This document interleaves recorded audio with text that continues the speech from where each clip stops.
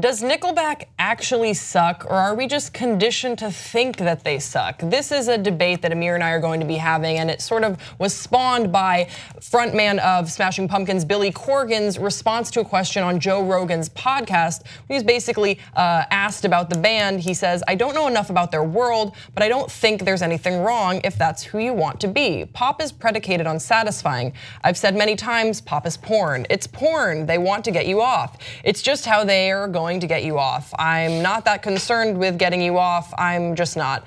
So kind of a strange kind of a strange uh, response, but uh, also uh, Nickelback porn comparison is something no. I truly never want to see. Um, so now we're gonna have Dickleback? this debate, Dickle, Dickleback. God, it, the name almost works too well. I'm sure it exists. Mm -hmm. Sophie, look that up on Pornhub. I'm just kidding. don't, don't, do, that. do, that. You're don't at work. Um, okay, so we're, we're, we're conditioned to hate Nickelback. There are some tweets just to point out. Pugs are the Nickelback of dogs. Crocs are the Nickelback of shoes. Why is Comic Sans the Nickelback Why are fonts? pugs the Nickelbacks of dogs? That's what you're mad like, at? Yeah. People hate pugs all of a sudden? This is news to Look, me. Look, apparently Tiny Gale does. That's just one Twitter user, Fuck Tiny Gale. Tiny Gale. I think it only had. Stay tiny. She only had four likes. Yeah, so a lot yeah, of people no just. shit, because no one likes that tweet at all. look, look. Here, here's here's the debate that we that we're gonna be that we're gonna be getting into, and uh, I should say that I did a lot of research this morning and yesterday for this conversation. Why you talking a drawl? I should say I did research on Nickelback. You don't know what listening to this much Nickelback does to your mind. Okay, so here's what I've come to the conclusion of. Nickelback has had rocks thrown at them at concerts. They have regularly been booed off of stage. been booed off of stage. And and is it right?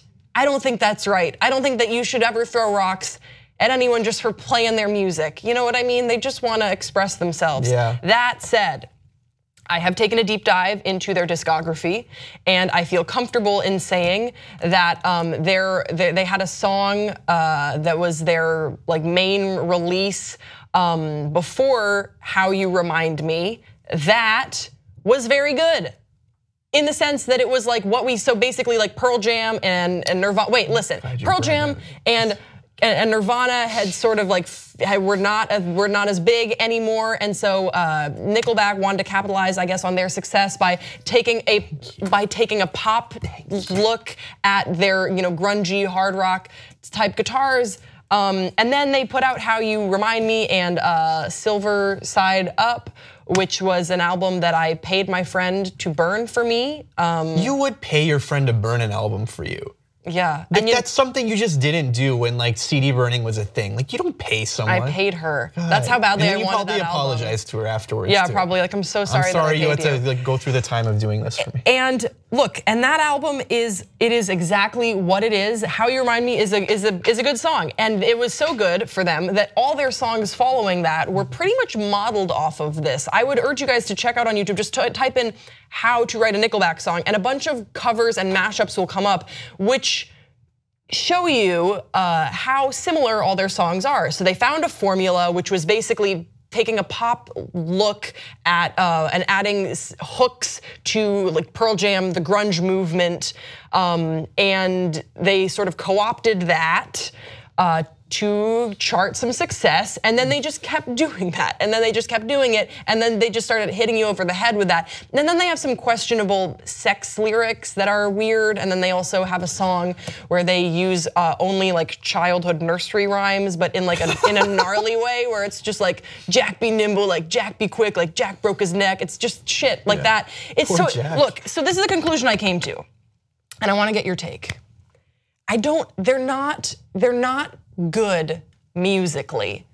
And they, it's annoying to listen to a lot of them. And I've listened to a lot of Nickelback because it sounds kind of the same.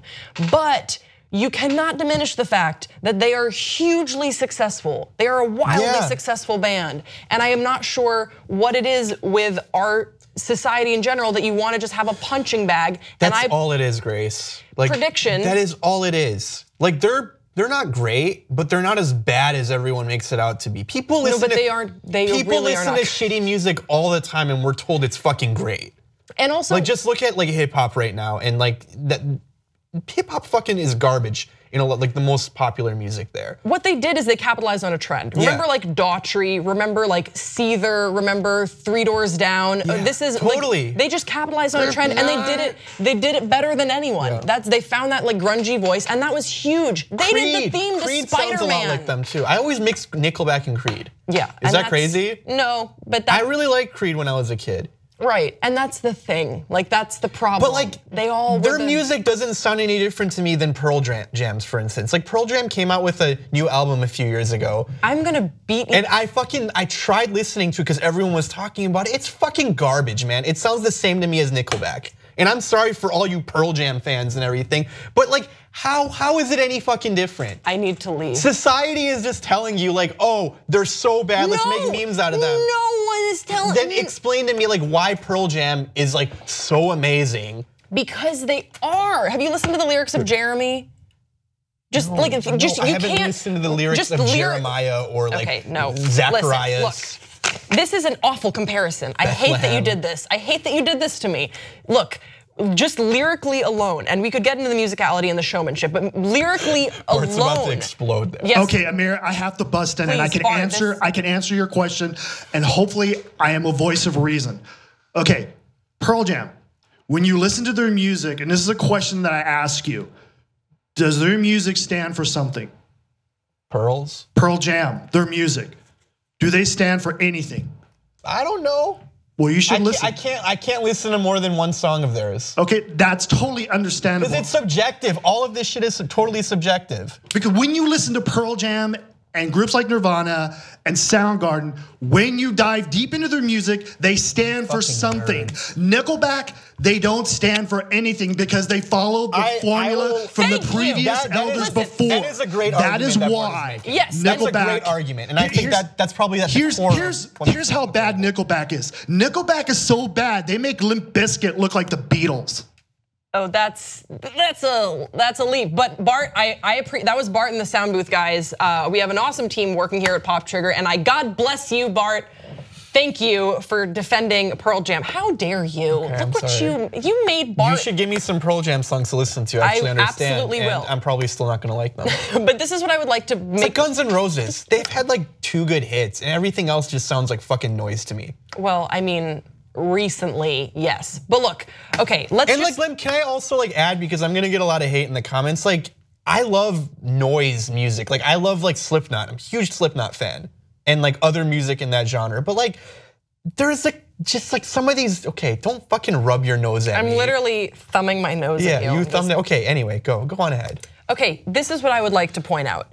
Uh, when it comes to hating Nickelback and acknowledging that they are hugely successful, Nickelback is the Chainsmokers in the sense that might, it might feel foreign now, but this style of music, like this poppy hard rock, was huge. They did the soundtrack to Spider-Man, like the hero will save us. Yeah. Like it was huge. Look at the soundtrack to Daredevil. They wanted Daredevil to be a huge movie. That's I why the movie personally enjoyed it. It was all like nu metal and hard rock. Like that was the trendy music at the time. Right now, it's EDM, and who co-ops that and you know makes it lends their talents to that better than anybody. It's the Chainsmokers. But years from now, children, when you are you know 10 years from now and you're looking back, it will be cringy to be like, I had a Chainsmokers t like T-shirt because of how obviously they have used. It's all just a marketing ploy. Look Yeah, at they're that- like the Jake Pauls of music.